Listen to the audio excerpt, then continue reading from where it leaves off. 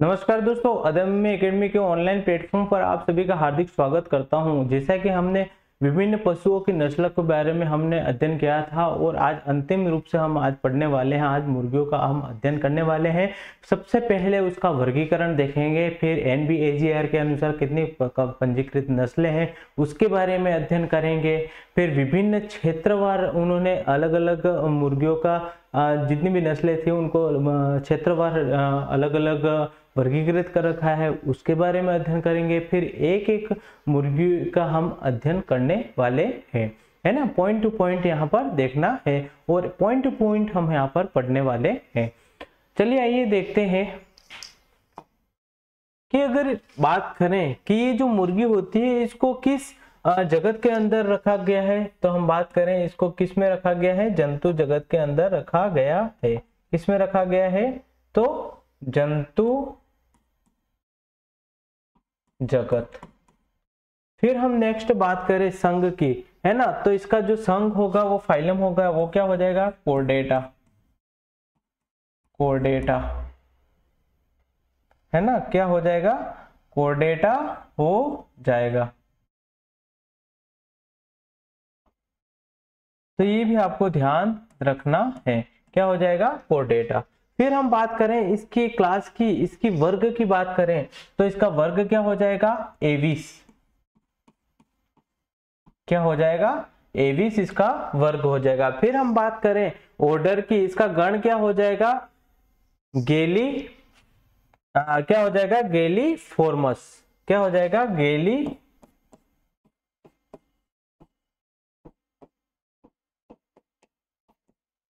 गेली फॉर्मस फिर हम बात करें, है ना? इसकी कुल की तो इसकी कुल फैमिली कौन सी हो जाएगी?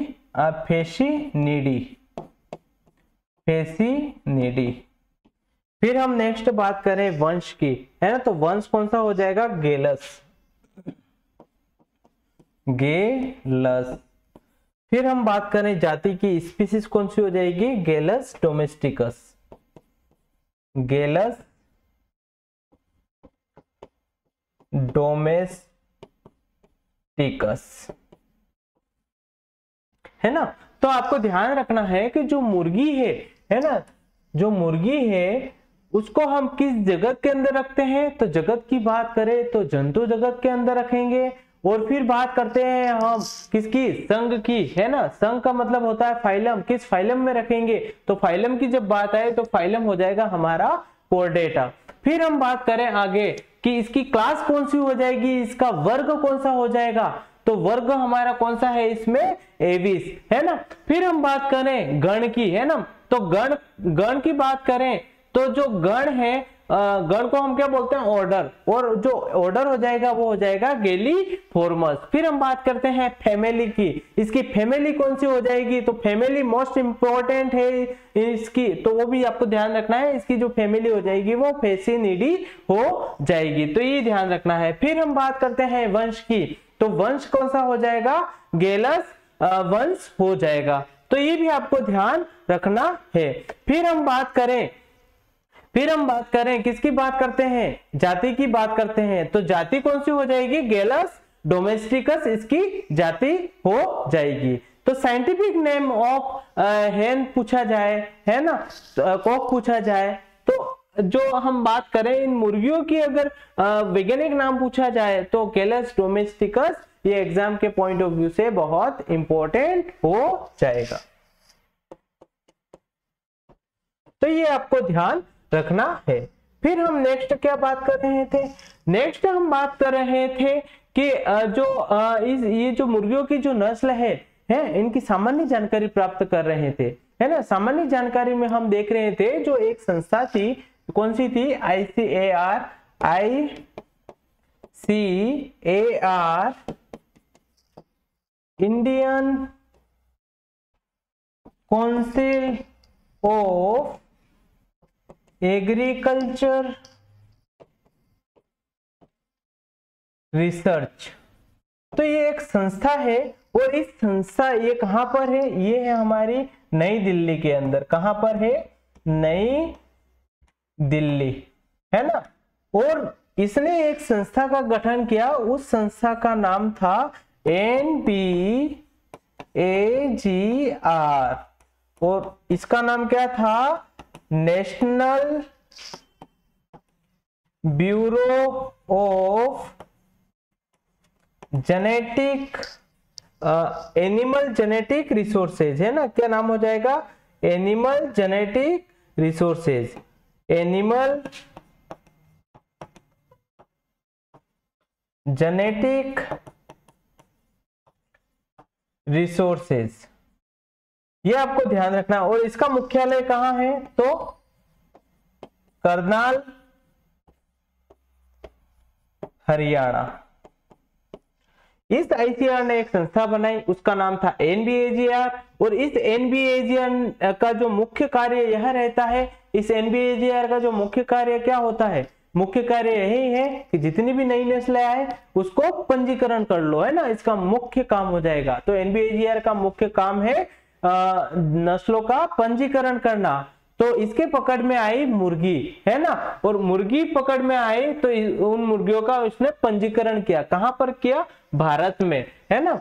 तो भारत में अगर पूछा जाए कि मुर्गियों की कुल पंजीकृत नस्लें कितनी है? मुर्गियों की कुल पंजीकृत नस्लें कितनी है? तो आपको आंकड़ा याद रखना है, कितना हो जाएगा? 19 19 इंपॉर्टेंट एग्ज़ाम के पॉइंट ऑफ़ व्यू से। ये आपको ध्यान रखना है कि मुर्गियों की नस्लों का विवरण देखा कि आईसीएआर ने एक संस्था बनाई एनबीएजीआर और एनबीएजीआर का एक मुख्य कार्य यही है कि जितनी भी नई नस्लें हो, उसका पंजीकरण करना। फिर हमने देखा कि भारत के अंदर मुर्गियों की कुल पंजीकृत नस्लों की संख्या पूछे तो कितनी हो जाएगी? 19 हो जाएगी। क्लियर पॉइंट फिर हम नेक्स्ट चलते हैं। नेक्स्ट क्या है? देख लेते हैं। ये हमारे की पॉइंट्स हो जाते हैं, है ना? मतलब यहाँ से डायरेक्ट अगर एग्जामिनर क्वेश्चन पूछेगा भी तो डायरेक्ट पूछ सकता है। क्या पूछेगा कि राजस्थान के अंदर कहाँ की बात कर रहा है ये? राजस्थान की बात कर रहा है और राजस्थान में भी एक मात्र मुर्गी की नस्ल कौन सी है? तो कौन सी नस्ल है? मेवाड़ी। क्योंकि राजस्थान का एग्ज़ाम है और राजस्थान से संबंधित जानकारी हमें अवश्य होनी चाहिए। तो मुर्गी की भी बात करें तो मुर्गी की एक ही नस्ल राजस्थान में पाई जाती है और उस नस्ल का नाम कौन सा है? मेवाड़ी। क्लियर पॉइंट फिर हम नेक्स्ट चले कि मांस उत्पादन, है ना? मुर्गियों का अधिकतर देखा जाता है है ना? चिकन शॉप है ना? तो वो क्या होता है? मांस की दुकान होती है ना, वहाँ पे मांस की बिक्री होती है। है ना? किसकी? चिकन, है ना? इसके मांस को ही हम क्या बोलते हैं? चिकन के नाम से जानते हैं। तो मांस जो होता है है ना? मांस उत्पादन के लिए क्या मतलब पाली जाने वाली जो नस्ल है, उसका नाम क्या है? ब्रायलर। ये भी बहुत बार एग्ज़ाम में पूछा जाता है, जेट के अंदर भी पूछा जाता है है ना? तो अवश्य हमारा यहाँ पर भी पूछने की संभावना रहती है। कहीं ना कहीं जो हमारे ये R M S S B जो संस्था है आरपीएस है, उन्होंने कहीं ना कहीं जो लेवल है वो बढ़ाया है। इसलिए हमें सारी चीज़ें पढ़नी है। तो मांस उत्पादन के लिए अगर हम देखें तो पाले जाने वाली जो नस्ल है, वो उसका नाम क्या है? ब्रायलर हो जाएगा। फिर हम बात करें कि मुर्गी क्या देती है? अंडा। क्या देती है? अंडा। और अंडे के उत्पादन के लिए पाली जाने वाली अगर नस्ल पूछी जाए तो वो कौन सी है? लेयर कौन सी नस्ल है? लेयर तो हमने क्या देखा कि मांस उत्पादन के लिए पाली जाने वाली नस्ल कौन सी? ब्रायलर फिर हमने देखा कि अंडा का उत्पादन करना है तो अंडा उत्पादन के लिए पाली जाने वाली जो नस्ल है, वो कौन सी है? लेयर है ना? फिर हमने देखा कि राजस्थान में एक ही नस्ल मिल रही थी, उस नस्ल का नाम क्या था? मेवाड़ी नस्ल था। फिर हम बात करें कि एक तो हम किस किसका समूह? मुर्गी और एक कम किसका? बतख अगर चाहे तो मुर्गी का जो समूह होता है, उसको भी हम किस नाम से जानते हैं? तो पोल्ट्री के नाम से जानते हैं। ये भी आपको ध्यान रखना है। और सेम शब्दावली अगर बात करें किसके बारे में? बतख के बारे में बात करें तो जो बतखों का जो समूह होता है, उसको भी हम क्या बोलते हैं? उसको भी हम पोल्ट्री के नाम से जानते हैं। और बात करें मुर्गियों का जो समूह होता है, उसको भी हम पोल्ट्री के नाम से जानते हैं। क्लियर पॉइंट अब जो हमने यहाँ पर जो देखा है, वो बहुत इंपॉर्टेंट है। एग्ज़ाम के पॉइंट ऑफ़ व्यू से देखा जाए सामान्य जानकारी के हिसाब से देखा जाए तो ये जानकारी बहुत इंपॉर्टेंट है। मुर्गी में अगर देखा है राजस्थान में एक नस्ल मिल रही थी उस नस्ल का नाम था मेवाड़ी। और मांस के लिए जो उत्पाद मांस का उत्पादन के लिए जो नस्ल पाली जा रही थी वो कौन सी थी? ब्रायलर थी। और अंडे के उत्पादन के लिए हमने बात करी तो वो लेयर थी। और जो आ, मुर्गियों का जो समूह होता है जो झुंड होता है और बत्तखों का जो झुंड होता है उन दोनों के लिए एक शब्द यूज़ किया जाता है। और उस शब्द का नाम क्या है? हमारा पोल्ट्री शब्द नाम है। क्लियर पॉइंट चलते हैं नेक्स्ट ये बहुत इंपॉर्टेंट हो जाएगा। फिर हम नेक्स्ट देखें। तो नेक्स्ट हमने उत्पत्ति के आधार पर है ना? किसके आधार पर? उत्पत्ति के आधार पर किसका वर्गीकरण कर रहे हैं हम? मुर्गियों का वर्गीकरण कर रहे हैं। है ना? अगर हम देशी या फिर भारतीय नस्ल की बात की जाए तो आपके सिलेबस में भी आ, यही लिख रखा है कि पशुओं की विभिन्न देशी नस्लें, लेकिन विदेशी इसलिए साथ में पढ़ते हैं कि हो सकता है एग्जामिनर क्वेश्चन वहाँ से पूछ ले। तो हमको सारी जानकारी ध्यान रखनी है। तो हम बात करें कि देसी भारतीय नस्ल उसमें कौन कौन सी है? एक तो है असील, फिर हम बात करें भूसरा फिर चिट्टागोंग कागज़ और कड़कनाथ। ये जितनी भी नस्ल है, ये कौन सी नस्ल है? देसी नस्ल के नाम से भी जानते हैं और भारतीय नस्ल के नाम से भी जानते हैं। कौन कौन सी नस्ल है? तो हम देखते हैं, असील, बुसरा, चिटगोंग, है ना? तो ये आपको ध्यान रखना है। फिर इसको हम कैसे याद रखते हैं? ए बी सी जी के हम इससे इसको याद रखते हैं। तो ये भी आपको ध्यान रखना है। है ना? समझ में आ गई बात? ये देसी और भारतीय नस्लें हैं। तो इसके बारे में आपको जानकारी होनी चाहिए सामान्य। तो जो नस्लें हैं, इसको याद कैसे करेंगे? हम बहुत सारी जो बहुत सारी चीज़ें हम पढ़ते हैं, है ना, जीके के अंदर? तो उसको लिखेंगे एबीसी जीके है ना? तो ए का मतलब हो जाएगा आपका असील बी का मतलब हो जाएगा बुसरा सी का मतलब हो जाएगा चिटगो और जी का मतलब हो जाएगा गागस और के का मतलब हो जाएगा आपका कड़कनाथ। क्लियर पॉइंट फिर हम नेक्स्ट चले। नेक्स्ट चलते हैं। हम किसके आधार पर देख रहे हैं? सबसे पहले तो उत्पत्ति के आधार पर देख रहे हैं, है ना?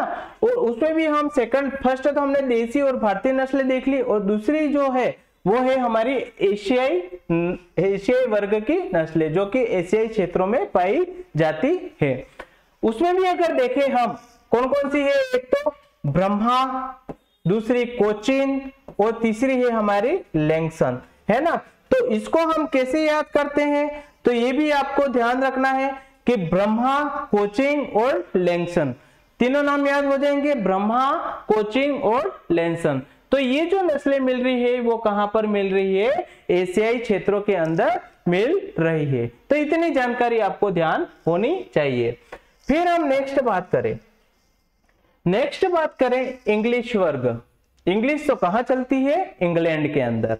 है ना? और उसको अंतरराष्ट्रीय भाषा के रूप में भी इंग्लिश को जाना जाता है जो कि वर्ल्ड वाइड लैंग्वेज के रूप में आ, आज विस्तार है। तो ध्यान रखना जो इंग्लिश वर्ग है है ना? इसका संबंध यहाँ पर इंग्लैंड से है। कहाँ पर? इंग्लैंड से। और इंग्लैंड में जो नस्लें मिलती है वो है हमारी डोरकिंग है ना? आर्पिगटन ससेक्स है ना? एस्ट्रोलोप फिर रेड केप और एक कार्निस। तो ये जो छह नस्लें हैं ये कहाँ पर मिल रही है आपकी? इंग्लैंड में है ना? तो इसको कैसे याद कर रखेंगे? तो हम बोलेंगे आ, कहीं होटल में जाएँगे। होटल में क्या बोलेंगे? कि डोसा रख। क्या बोलेंगे? जो हम एक बार तो डोसा को ऑर्डर करेंगे, फिर वो लेके आएगा, फिर बोलेंगे हम, डोसा रख। क्या बोलेंगे? डोसा रख। है ना?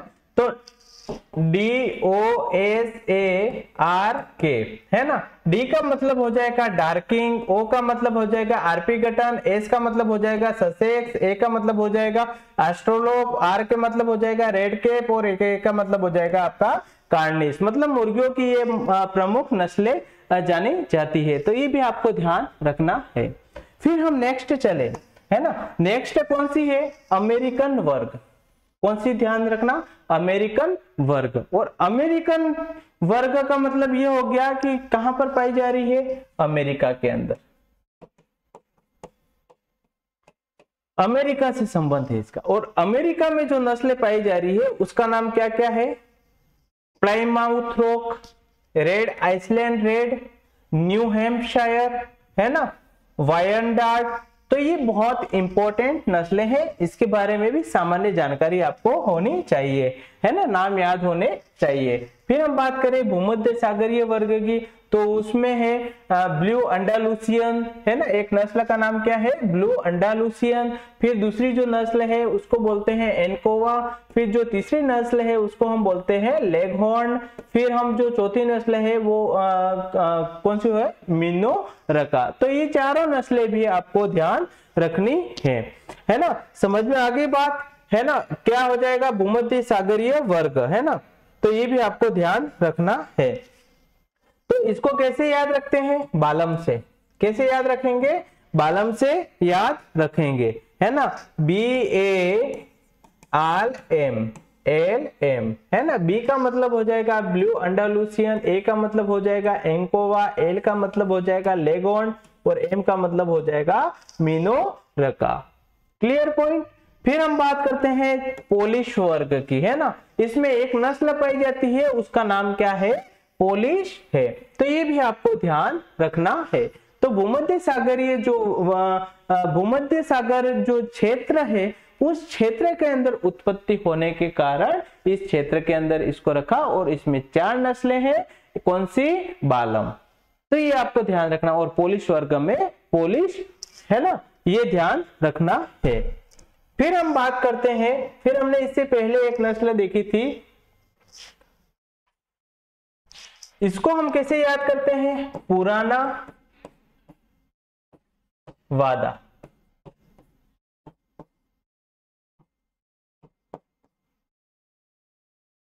पुराना वादा। है ना? तो पी से हो जाएगा आपका प्लाईमाउथ रोक आर से रोड आइसलैंड रेड एन से हो जाएगा न्यू हेम्पशायर और वी से मतलब हो जाएगा वाई वायन डार्क तो ये भी आपको ध्यान रखना है। फिर हम नेक्स्ट बात करें, कौन सी नस्ल है? रोड आइसलैंड रेड मुर्गी। कौन सी नस्ल है? रेड आइसलैंड रेड मुर्गी। है ना? रोड आइसलैंड रेड मुर्गी। तो इसके बारे में हम अध्ययन करते हैं। कौन सी है? लिख लेते हैं इसको। Red island red Rhode Island red मुर्गी है ना? इसका नाम ये हो जाएगा। और इसके बारे में अगर सामान्य जानकारी बात करें तो इसके जो आ, अगर मूल स्थान देखें है ना? मूल स्थान की बात करें।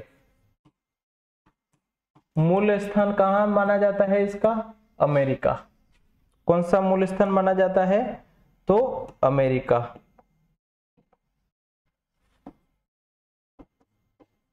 अमेरिका, इसका मूल स्थान माना जाता है। फिर हम बात करें, है ना? अमेरिका में भी एक स्थान है, रोड आइसलैंड। Road Iceland. तो इस रोड आइसलैंड जगह का नाम है, यहाँ पर उत्पत्ति होने के कारण इस नस्ल का नाम भी क्या पड़ गया है? रोड आइसलैंड नाम हो गया है। और ये कहाँ पर है? अमेरिका के अंदर। क्लियर पॉइंट फिर नेक्स्ट चले हम। सबसे पहले हमने देखा था वर्ग, है ना? वर्ग देखे थे उत्पत्ति के आधार पर। तो इसको किस वर्ग में रखा था? अमेरिकन वर्ग। अमेरिकन वर्ग। क्लियर पॉइंट फिर हम बात करें, ये कैसी मुर्गी होती है? एकल कलंगी। क्लियर फिर हम बात करें कि इनके अंडों का रंग कैसा होता है? अंडों का रंग। तो वो कैसा हो जाएगा? गहरा भूरा। कैसा रंग हो जाएगा? गहरा भूरा रंग क्लियर पॉइंट फिर हम बात करें कि ये जो अंडे हैं है ना? ये जो नस्ल है इसका जो उपयोग है हम किसमें करते हैं? दवाइयों में दवाई बनाने में भी उपयोग करते हैं। मतलब हम कर, कह सकते हैं दवाइयों में उपयोग इस नस्ल को। क्लियर पॉइंट कभी सोचा नहीं होगा मुर्गियों का दवाइयों में भी उपयोग किया जाता है। और पंखों का रंग पूछा जाए पहचान कैसे करोगे? पंखों का रंग है ना? तो पंखों का रंग होता है इसके आ, लाल व भूरा। क्लियर पॉइंट फिर हम नेक्स्ट देखें। कि इस, ये वाली जो नस्ल है, इसको हम किस लिए पालते हैं? मांस उत्पादन हेतु। किस लिए पालते हैं? मांस उत्पादन हेतु। है ना? किस लिए पाल रहे हैं? मांस उत्पादन के लिए पाल रहे हैं। तो ये आपको ध्यान रखना है। समझ में आ गई बात?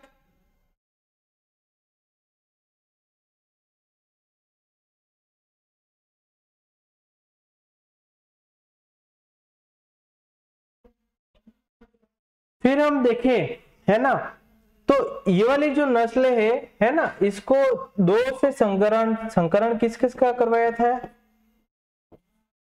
संकरण। किस किस का करवाया था?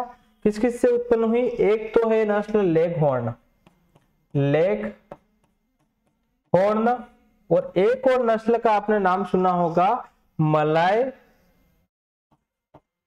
मलाय गेम। मलाय गेम। और इन दोनों के नस्ल का क्या करवाया हमने? संकरण करवाया और संकरण से जो उत्पन्न जो नस्ल है, वो रोड आइसलैंड रेड मुर्गी है। क्लियर पॉइंट ठीक है? फिर हम बात करें इसका लगभग वज़न की बात करें तो वज़न की अगर बात करें हम, है ना? वज़न कितना हो जाएगा? वज़न, है ना? अगर हम वज़न की बात करें तो मुर्गे का वज़न कितना हो जाएगा? मुर्गे का वज़न। कितना हो जाएगा लगभग? इसका हो जाएगा साढ़े तीन किलोग्राम। फिर हम बात करें किसकी? मुर्गी का वज़न। और इसकी बात करें तो इस, ये लगभग हो जाएगा तीन किलोग्राम। क्लियर पॉइंट मतलब रोड आइसलैंड है, इसका मूल स्थान अमेरिका का रोड आइसलैंड आइसलैंड से जाना जाता है, इसलिए इस मुर्गी को हम किस नाम से जानते हैं? रोड आइसलैंड के नाम से भी जानते हैं। फिर देखा था, अमेरिकन वर्ग की नस्ल है ये, एकल कलंगी है, फिर इसका लेगहॉर्न और मलाय गेम इन दोनों के संकरण से जो उत्पन्न जो नस्ल है, वो रोड आइसलैंड रेड मुर्गी है। फिर इसके जो अंडों का जो रंग होता है, वो कैसा होता है? गहरा, भूरा होता है। और इस नस्ल को हम किसमें उपयोग लेते हैं? दवाइयों में भी उपयोग लेते हैं। फिर इसके जो पंख होते हैं, उनका रंग लाल और भूरा होता है। फिर मुर्गे की वज़न की बात करें तो साढ़े तीन किलोग्राम होता है। और मुर्गी के वज़न की बात करें तो तीन किलोग्राम होता है। और इस ये वाली जो नस्ल है, इसको हम मांस उत्पादन के लिए भी पाला जाता है। ये आपको क्लियर रखना है। क्लियर पॉइंट फिर हम नेक्स्ट देखें। नेक्स्ट हमारी कौन सी नस्ल है? फिर हम देखें व्हाइट लेग हॉर्न कौन सी नस्ल है? व्हाइट लेग हॉर्न मुर्गी। कौन सी नस्ल है? व्हाइट लेघोर्न मुर्गी। तो जो व्हाइट लेघोर्न मुर्गी है, इसका जो मूल स्थान है, मूल स्थान की बात करें तो मूल स्थान कौन सा है? इटली। कौन सा है? इटली।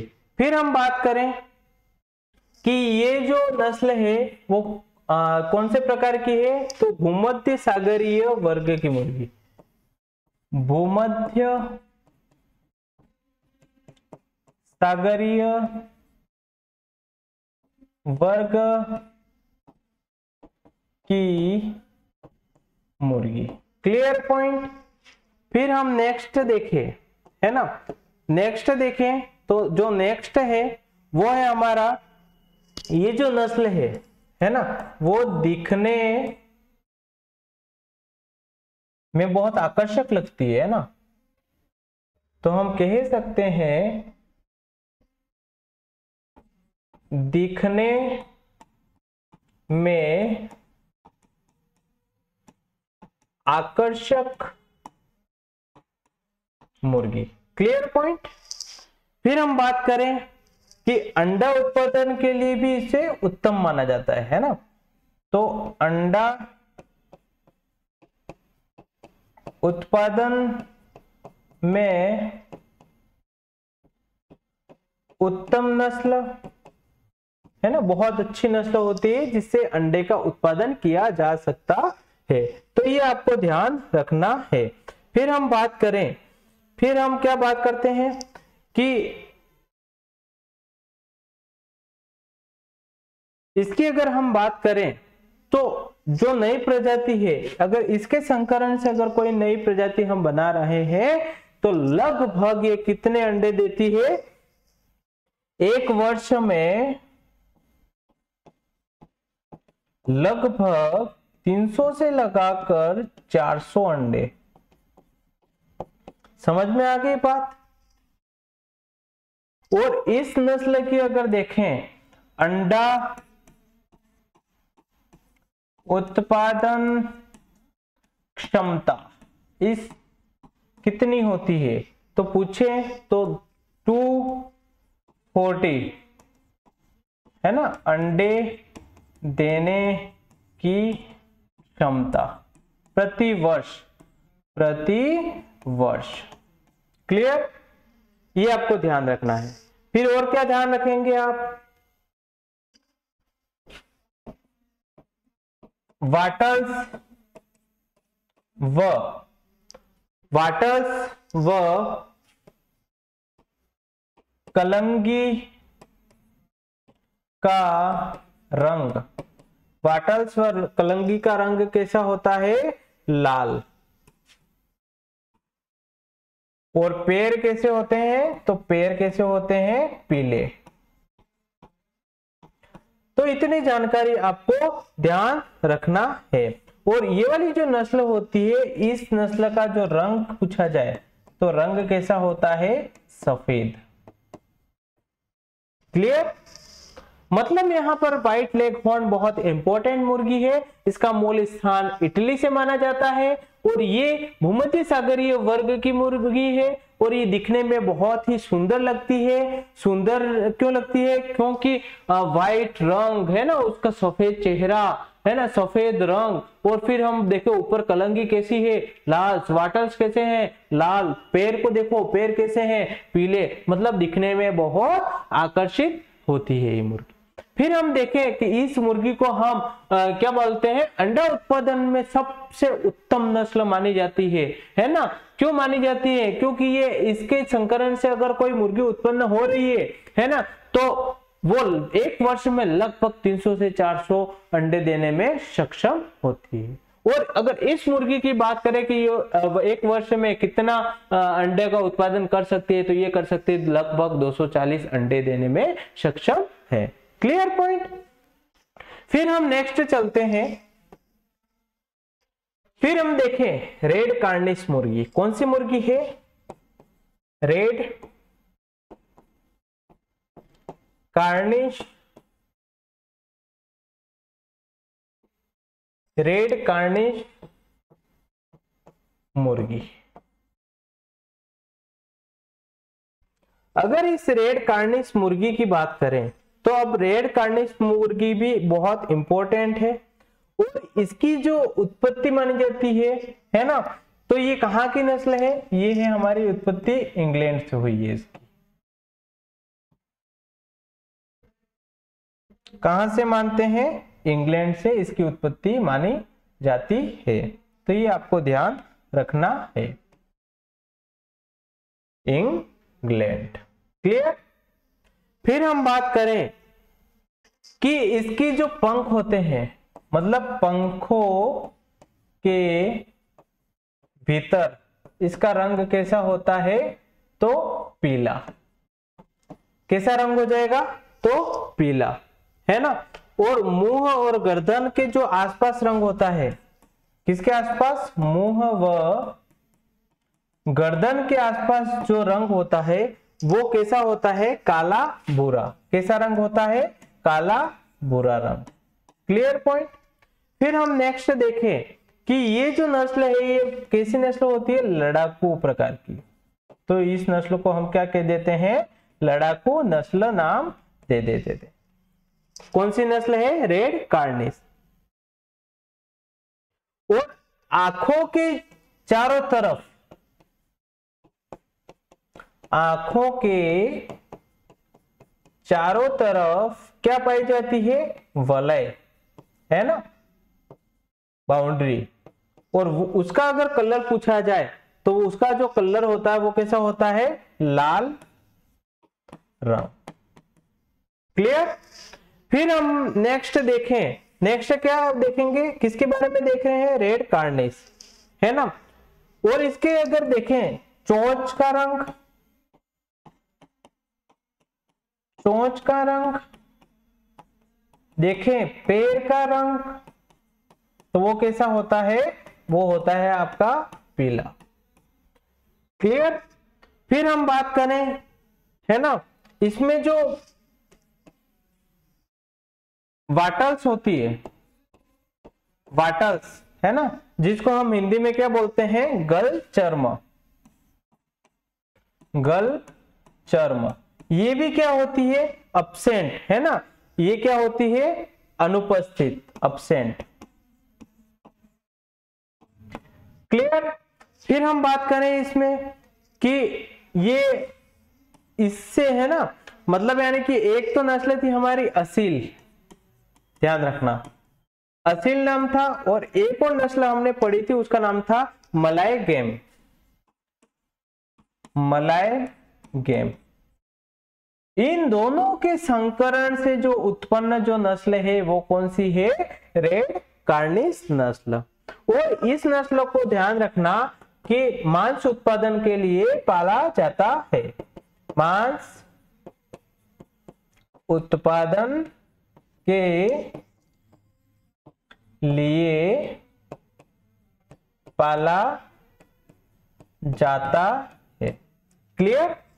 मतलब हमने रेड कार्निस के बारे में आ, आ, क्या देखा कि इसकी जो उत्पत्ति हो रही थी वो कहाँ से हो रही थी? इंग्लैंड से है ना? पंखों के भीतर जो रंग होता है वो पीला होता है मुँह व गर्दन पर जो रंग होता है वो काला बुरा होता है ये नस्ल लड़ाकू नस्ल होती है क्योंकि लड़ाई करने में सक्षम होती है और इसके जो चार आँखें होती है उसके चारों ओर जो रंग होता है वो कैसा होता है? लाल रंग होता है। और इस नस्ल को हम मांस उत्पादन के लिए पाला जाता है। और अगर चोच का रंग पूछे पेड़ का रंग पूछे तो कैसा होता है?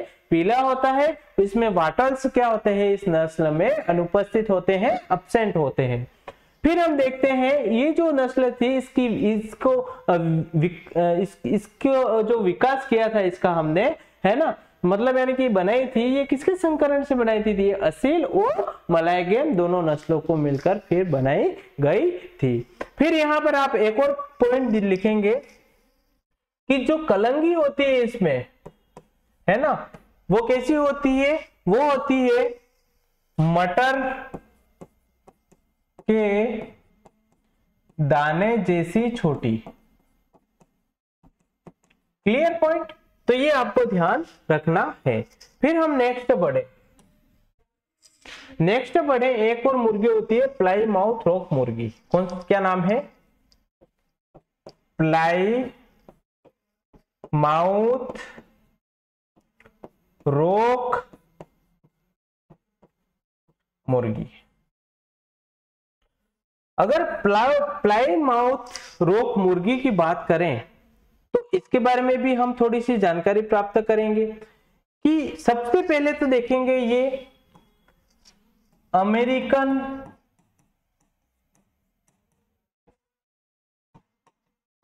वर्ग की मुर्गी है। क्लियर कौन सी वर्ग की मुर्गी है? अमेरिकन वर्ग की मुर्गी है। फिर हम बात करें, इसमें जो कलंगी होते हैं, क्या? कलंगी व वाटल्स है ना? जिसको हम क्या बोल रहे थे? आ, आ, क्या बोल रहे थे इसको हम? आ, गल चर्म। क्या बोल रहे थे? गल चर्म। तो ये कलंगी और जो वाटल्स हैं है ना? ये कैसे कि, कि, किस रंग के होते हैं? ये होते हैं लाल रंग के। समझ में आ गई बात? फिर हम बात करें। जो मादा मुर्गी होती है इस नस्ल की मादा मुर्गी। है ना? उनके जो पैर होते हैं, उन पैरों पर क्या होते हैं? धब्बे मिलते हैं। कैसे धब्बे मिलते हैं? तो काले धब्बे क्लियर पॉइंट फिर हम इसके बाद में प्लाई माउथ में और क्या देख सकते हैं? और देखें कि ये व्यापारिक, है ना? व्यापारिक दृष्टि से उत्तम नस्ल। व्यापारिक दृष्टि से देखा जाए तो ये नस्ल कैसी है? उत्तम नस्ल है। फिर हम बात करें कि इसके पैरों का रंग देखें, है ना? पैरों का रंग। कैसा होता है पैरों का रंग? तो वो होता है सफ़ेद। और इसके पैर कैसे होते हैं? लंबे। क्लियर पॉइंट फिर हम बात करें कि नर का भार मुर्गे का भार है ना? मुर्गे का भार, और बात करें, मुर्गी का भार, है ना? इन दोनों की बात करें तो मुर्गे का जो भार हो जाएगा वो फोर पॉइंट थ्री किलोग्राम हो जाएगा, और मुर्गी की बात करें तो मुर्गी की जो भार हो जाएगा, तीन पॉइंट चार किलोग्राम हो जाएगा। क्लियर पॉइंट इस नस्ल को हम मांस उत्पादन में भी आ, मतलब यानी कि प्रसिद्ध मांस उत्पादन के लिए प्रसिद्ध ऐसा लिख सकते हैं। मांस उत्पादन के लिए प्रसिद्ध नस्ल। किसके लिए नस्ल है? मांस उत्पादन के लिए भी प्रसिद्ध माना जाता है। फिर हम बात करें इसके पंखों की है ना? किसकी बात करें? यहाँ पर लिख लीजिए। पंखों के रंग की बात करते हैं। किसकी बात कर रहे हैं? पंखों के रंग की। तो वो होता है आपका काला, सफ़ेद और ग्रे रंग का। क्लियर पॉइंट तो जो प्लाई माउथ रॉक मुर्गी है, इसका जो कौन से वर्ग में मिल रही थी ये? अमेरिकन वर्ग में मिल रही थी। इसमें जो वाटर्स और वाटर्स और कलंगी जो होते हैं, वो लाल रंग के होते हैं। जो मादा मुर्गी होती है, उनके जो पैर होते हैं, उन पर काले धब्बे होते हैं। फिर हमने देखा कि जो मुर्गी की जो नस्ल है, ये व्यापारिक दृष्टि से देखे तो बहुत ही उपयोगी है। क्यों उपयोगी है? क्योंकि ये मांस उत्पादन में बहुत प्रसिद्ध नस्ल है। क्लियर पॉइंट फिर हम देखें कि इनके जो पैर का जो रंग होता है, वो कैसे, पैर तो होते हैं हमारे लंबे, लेकिन अगर पैरों का रंग देखा जाए तो कैसे होता है? सफ़ेद। मुर्गे का भार अगर देखें तो लगभग 4.3 किलोग्राम हो सकता है, और मुर्गी का भार अगर लगभग देखें तो 3.4 किलोग्राम हो सकता है। फिर हमने बात करी पंखों के रंग की तो पंख के पंखों का जो रंग होता है, वो काला हो सकता है, काला, सफ़ेद और ग्रे मिक्स में होता है। क्लियर? तो आपको ये सारी चीज़ें प्लाई माउथ रोक मुर्गी के बारे में ध्यान रखना है। फिर हम नेक्स्ट चलते हैं। नेक्स्ट हम देखने वाले हैं चिट्टा गोंग। किसके बारे में देखने वाले हैं? चिट्टा गोंग।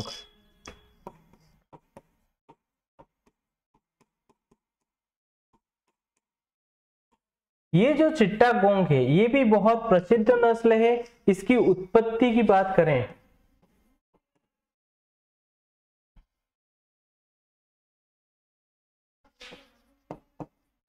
उत्पत्ति की बात करें तो उत्पत्ति क्या हो जाएगी इसकी? इसकी उत्पत्ति हो जाएगी हमारी पूर्वी भारत। ये नस्ल कहाँ मिलती है? पूर्वी भारत। क्लियर फिर हम बात करें। सबसे ऊँची नस्ल है ना? हाइट में देखें तो सबसे ऊँची नस्ल है सबसे ऊँची नस्ल। क्लियर पॉइंट फिर हम बात करें इसकी जो मांस होता है है ना? इसका जो मांस होता है, उसको हम किस नाम से जानते हैं, है ना? तो इसका जो नाम हो जाएगा, वो हो जाएगा मलाई चिकन। मलाई चिकन के नाम से भी जाना जाता है। समझ में आ गई बात? फिर हम बात करें कि इस नस्ल को हम द्विकाजी नस्ल के रूप में भी जानते हैं। क्लियर पॉइंट है ना? तो इतनी सी जानकारी आपको ध्यान होनी चाहिए। द्विकाजी क्यों कहते हैं? क्योंकि इसको अंडे का उत्पादन और इससे और क्या किया जा सकता है? मांस का उत्पादन। इन दोनों ही पर्पस के लिए इसको पाला जाता है, इसलिए इसको क्या बोल देते हैं? द्विकाजी नस्ल। और वो कौन सी नस्ल है? चिट्टा गोंग ये कहा मिल रही थी? तो पूर्वी भारत के अंदर। पूर्वी भारत कौन सा हो जाएगा? ये वाला भाग। क्लियर बात? है ना? इंडिया का ये वाला भाग।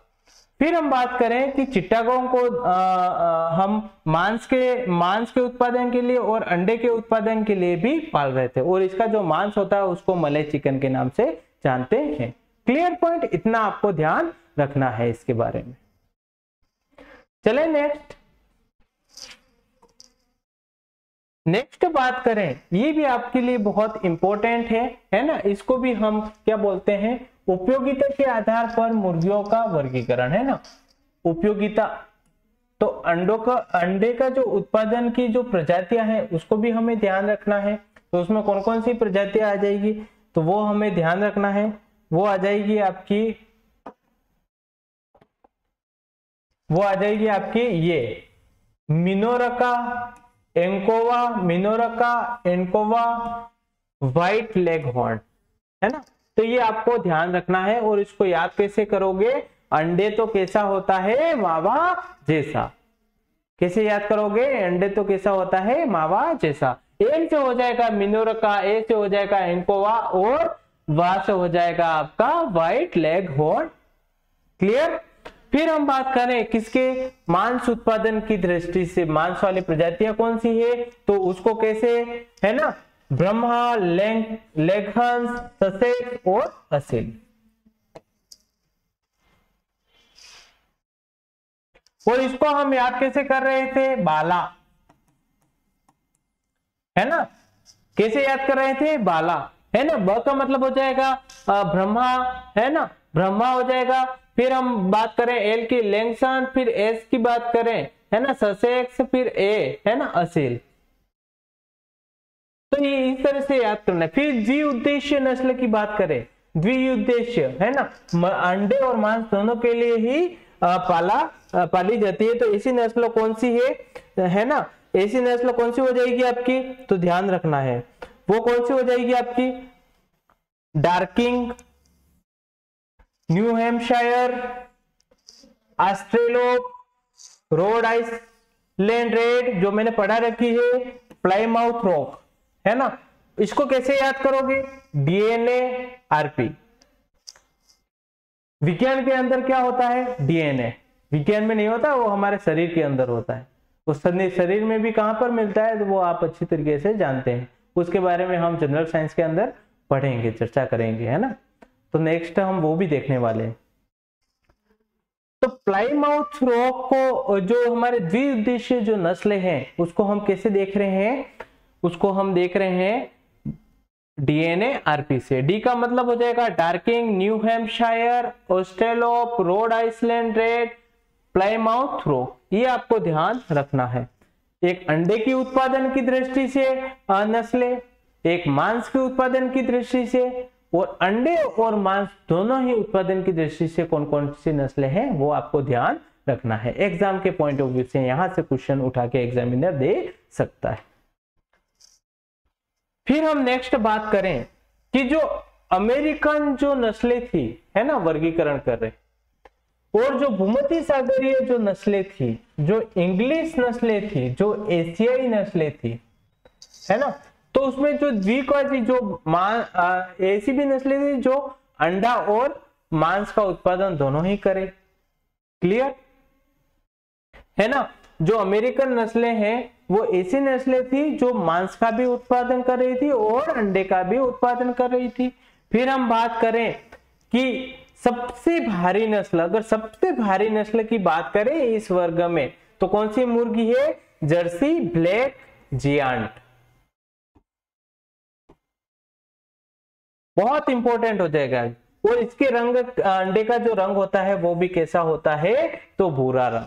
ये आपको ध्यान रखना है। मतलब अमेरिकी जो नस्ल है, वो द्विकाजी नस्ल होती है। अंडे और मांस का, दोनों का उत्पादन किया जा सकता है। और हमने क्या देखा? जर्सी ब्लैक है, जो सबसे भारी नस्ल के नाम से भी जानी जाती है और इसके अंडे का रंग कैसा होता है? भूरा।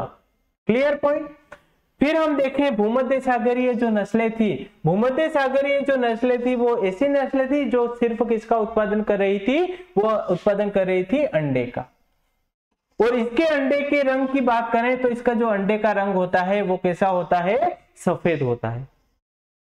और ये इसमें भी अगर देखें, सबसे ज़्यादा अंडे देने वाली अगर नस्ल की बात करें तो सबसे ज़्यादा अंडे कितने, कौन दे रही थी? लेघोर्न मुर्गी दे रही थी, जो कि कितने अंडे थे? लगभग 250 अंडे, एक वर्ष के अंदर। क्लियर पॉइंट फिर हम बात करते हैं इंग्लिश नस्ल। इंग्लिश नस्ल का मतलब है इंग्लैंड है ना? और इंग्लैंड की जो नस्ल है, उसको हम टेबल बर्ड के नाम से भी जाने जाती है वो नस्लें। तो वो आपको ध्यान रखना है। और ये वाली जो नस्लें हैं, वो मांस उत्पादन की दृष्टि से उत्तम नस्लें हैं और इनके जो अंडे का जो रंग होता है, वो कैसा होता है?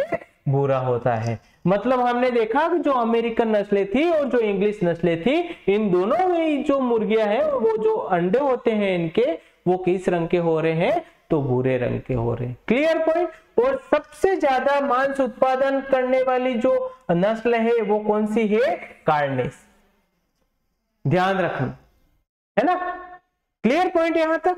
फिर हम बात करें, एशिया पे बात करें तो यहाँ पर जो एशिया में अगर बात करें तो मांस उत्पादन की दृष्टि से एक नस्ल पाली जाती है और उस नस्ल का नाम है ब्रायलर। क्या नाम है?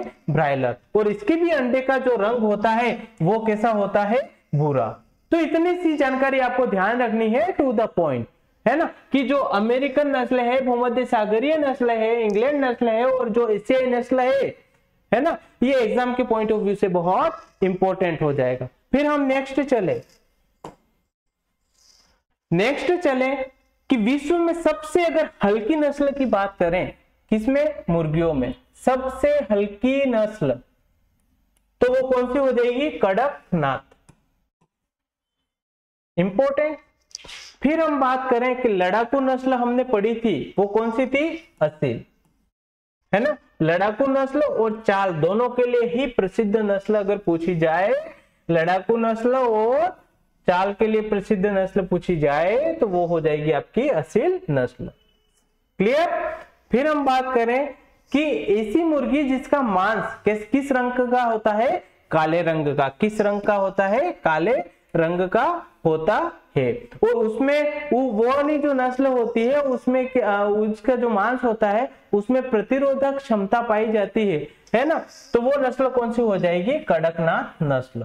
क्लियर पॉइंट और कड़कनाथ नस्ल ही हमारी, हम क्या देख रहे थे? सबसे हल्की नस्ल। क्लियर पॉइंट मांस कैसा होता है? काला होता है और उस मांस में क्या होता है? प्रतिरोधक क्षमता पाई जाती है। है ना? तो वो बहुत इंपॉर्टेंट नस्ल है। फिर हम बात करें कि राजस्थान में एकमात्र पंजीकृत नस्ल है और वो उसका नाम क्या है? मेवाड़ी। ये एग्ज़ाम के पॉइंट ऑफ़ व्यू से भी बहुत इंपॉर्टेंट रहेगा। तो ये आपको ध्यान रखना है इसके बारे में। क्लियर पॉइंट फिर जो आज हमने जो जानकारी प्राप्त करी है है ना? किसके बारे में जानकारी प्राप्त करी? आज हमने देखा है मुर्गियों के बारे में। है ना? कि उसके वर्गीकरण देखा था? वर्गीकरण से चालू करके हमने वर्गीकरण देखते हैं ना? अगर हम बात करें कि मुर्गियों का जो वर्गीकरण, उसका अगर जगत की बात करें तो जंतु जगत के अंदर रखा था, फिर कोर्डेटा इसकी संघ था, इसकी क्लास देखे तो क्लास तो एविस थी। और गण की बात करें, ऑर्डर की बात करें तो गेलीफॉर्मस था, और फैमिली की बात करें तो फेसिनिडी इसकी फैमिली थी। फिर हमने बात करी कि जो वंश था, वो क्या था? गेलस था। और इसकी अगर स्पीसीज, इसकी जाति की बात करें तो जाति था हमारा गेलस डोमेस्टिकस। जो इसमें जो क्वेश्चन पूछने लायक है, वो यही पूछेगा कि मुर्गियों का जो वैज्ञानिक नाम होता है, वो क्या होता है? तो आपको बताना है सीधा सीधा आंसर देना है कि गेलस डोमेस्टिकस इसका वैज्ञानिक नाम होता है। क्लियर? फिर हम अगर हमने नेक्स्ट देखा कि नेक्स्ट क्या देखा कि जो एनबीएजीआर है, इसने कुल भारत के अंदर 19 नस्लों का पंजीकरण कर रखा है। ये देखा था हमने। फिर हमने नेक्स्ट देखा था नेक्स्ट हमने कुछ की पॉइंट देखे थे, है ना? तो राजस्थान में एकमात्र नस्ल मिलती है, उसका नाम है मेवाड़ी। और मांस के लिए पाली जाने वाली ब्रायलर थी, और अंडे के लिए पाली जाने वाली लेयर थी, और मुर्गियों का झुंड होता है, जो हंस होते हैं, उनका झुंड होता है है ना बतख है ना? तो उनको जो, उसका जो झुंड होता है, उसको हम पोल्ट्री के नाम से जान रहे थे। ये चार शब्दावली हमने देखी थी। क्लियर पॉइंट फिर हमने नेक्स्ट देखा था नेक्स्ट देखा था कि उत्पत्ति के अनुसार मुर्गियों का वर्गीकरण देखा था, जिसमें देसी और भारतीय पढ़ा था और याद करने की ट्रिक मैंने क्या बताई थी? एबीसी जी के फिर हमने हमने नेक्स्ट देखा, और नेक्स्ट में भी हमने क्या देखा? एशियाई वर्ग, है ना? फिर इसमें क्या देखा हमने? ब्रह्मा, कोचिन और लेंगसन। फिर हमने देखी इंग्लिश वर्ग की, जिसको डोसा आरके के नाम से जान रहे थे। फिर अमेरिकन वर्ग, है ना, पुराना वादा। फिर हम भूमध्य सागरीय वर्ग के बारे में बात करी, बालम। फिर हमने बात करी रोड, आइसलैंड, रेड मुर्गी के बारे में अध्ययन किया। ये भी एग्ज़ाम के पॉइंट ऑफ़ व्यू से बहुत इंपॉर्टेंट हो जाएगा, है ना। फिर हमने व्हाइट लेग हॉर्न मुर्गी के बारे में ध्यान, इससे इसकी जो मूल स्थान था वो इटली था। ये भी हमने और कुछ कुछ जानकारी इसके बारे में हमने देखा। फिर हमने रेड कार्निस मुर्गी के बारे में अध्ययन किया। इसके बारे में कुछ जानकारी हमने छोटी मोटी बहुत सारी जानकारी जो इम्पोर्टेंट थी, वो हमने यहाँ पर पढ़ी। फिर हमने नेक्स्ट देखा कि मुर्गियों की कुछ महत्वपूर्ण जो नस्लें हैं, उसमें ही हमने प्लाई माउथ रोग मुर्गी के बारे में अध्ययन किया, जो कि अमेरिकन वर्ग की थी। फिर हमने नेक्स्ट देखा, चिट्टा गोंग है ना, इसकी उत्पत्ति पूर्वी भारत से है। है ना? एग्ज़ाम के पॉइंट ऑफ़ व्यू से इंपॉर्टेंट है ये। फिर अंडा उत्पादन वाली प्रजातियाँ कौन सी थी? उसको याद करने का तरीका बताया था मैंने। फिर मांस उत्पादन करने वाली प्रजातियाँ कौन सी है? फिर मैंने बताया कि द्विउद्देशीय मांस और अंडा दोनों ही उत्पादन की ऐसी नस्लें कौन सी है? तो उसको हमने इस तरीके से याद रखाया था। मावा, बाला और डीएनए आरपी क्लियर?